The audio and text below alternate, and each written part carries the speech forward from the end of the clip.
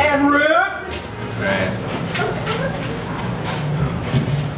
Rain beats down like drunken fists on walls made of prayer. Liquor stores drowns in water, water drowning sins. A city reborn. I sink like loose lips in a room with no window, no roof. Lips so loose I could swallow sailors with lovers' names carved like confessions into anchor arms. I could swallow Greek heroes like undesirable pills, making me rest easy, giving maidens awaiting their inevitable returns back home insomnia. I could swallow screams like sonar if she'd give me the chance. I keep my mouth shut.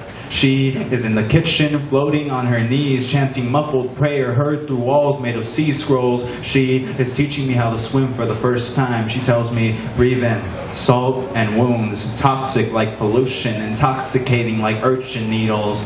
Breathe out, pearl and smoke screen. I am the illusionist of the ocean, like an octopus. I camouflage into walls made of jade. My eyes like topaz, covered by two seashells. The sea and the moon make love, and I float upwards like moonbeam, washing plastic bags and unfinished book pages, drift in spirals like shipwrecks beneath me. I wish you could part the sea like Moses, like my sister's elementary school haircut.